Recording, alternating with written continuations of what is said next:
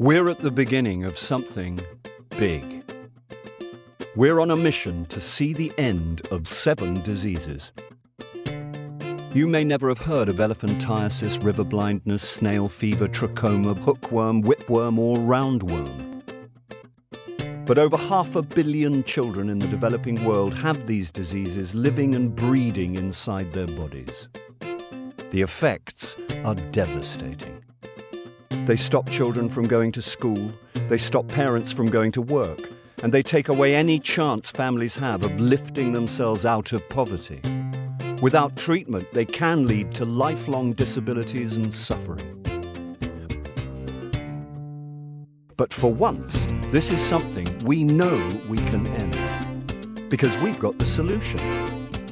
A simple packet of pills. What's more, many pharmaceuticals are providing them for free.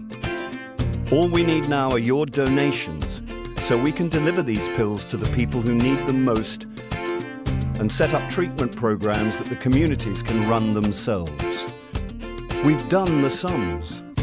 And with just 50p, you can treat and protect one child for one year against all seven diseases. And you are just the start.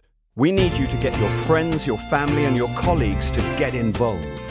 Because with enough of these tiny donations, we can do something huge. We can see the end of all seven diseases by 2020. So join us, and together we can see the end.